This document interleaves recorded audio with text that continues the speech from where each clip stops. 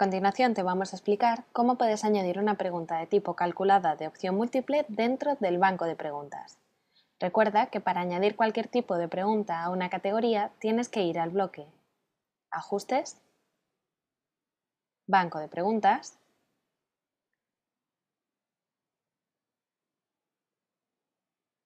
Preguntas, seleccionar la categoría donde vas a crear la pregunta y por último pinchar en el botón Crear una nueva pregunta. En este caso selecciona el tipo Calculada de opción múltiple.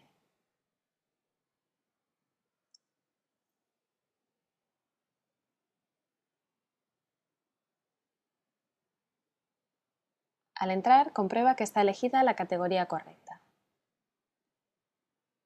A continuación, pone el nombre de la pregunta, En el texto de la pregunta puedes poner lo siguiente.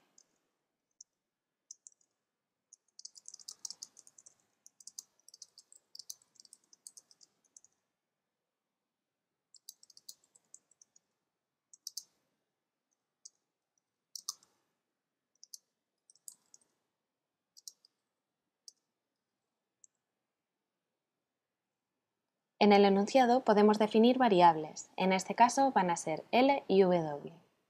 Moodle va a llamar a estas variables comodines y siempre van a tener que ir entre llaves.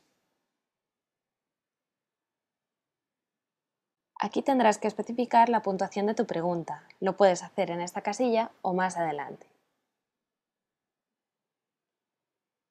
Esta retroalimentación o información que le pongas al alumno le aparecerá una vez esté revisando el examen, puedes orientarla a decirle al alumno una posible respuesta correcta.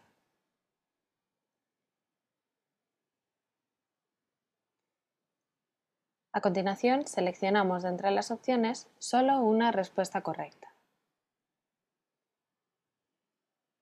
Barajar respuestas es una opción que aparece marcada para que éstas aparezcan en un orden distinto a cada uno de los alumnos.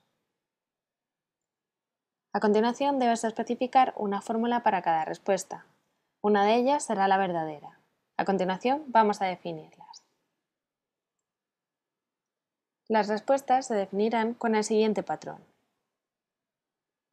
Abre llave, igual, y comenzamos a poner la fórmula. En este caso, la variable L por la variable W cerramos la llave y este sería el patrón de respuesta correcta. Nos lo vamos a copiar. Al ser la respuesta correcta, indicaré que la calificación será de un 100%. Los decimales los dejamos como están y la retroalimentación también. Vamos a poner las siguientes posibles respuestas. Pegamos la fórmula anterior y le cambiamos el por por un dividir. Como no es la respuesta correcta, la vamos a dejar en ninguno. Recuerda que este tipo de preguntas, al igual que las de opción múltiple, tienen la posibilidad de poner al alumno puntuación negativa. Esta puntuación negativa aparecerá de la mitad del desplegable hacia abajo. Ponemos la tercera posible respuesta, le quitamos el por y le ponemos un más. Y por último, otra posible respuesta será, le quitamos el por y le ponemos un menos.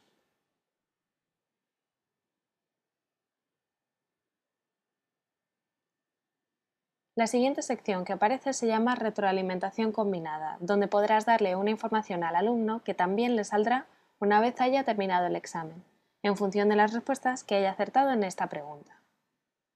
Si ha acertado todas las respuestas, se mostrará el texto de la primera casilla. Si ha acertado alguna, se mostrará el texto del centro.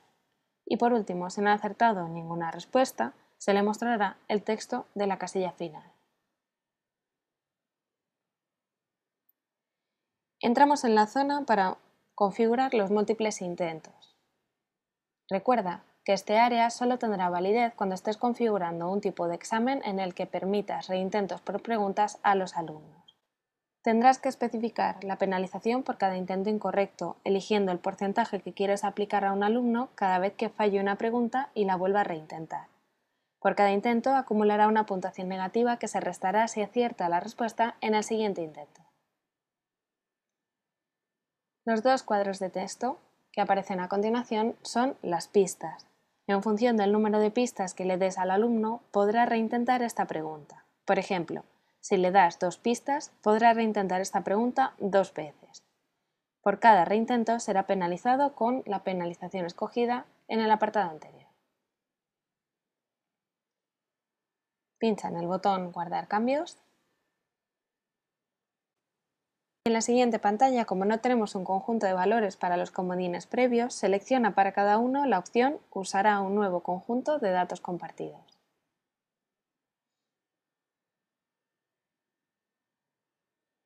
Deja la opción No sincronizar y pulsa Siguiente página.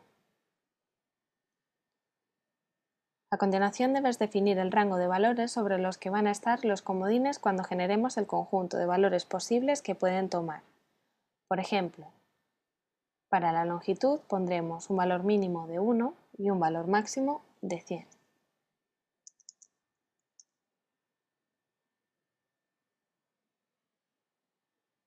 Para la variable w pondremos un valor mínimo de 1 y un valor máximo de 100.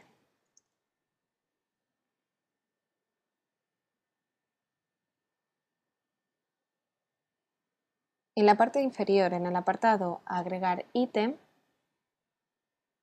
selecciona el número de conjunto de valores posibles que quieres que tomen las variables definidas. Vamos a seleccionar 20 y pulsamos en el botón Agregar.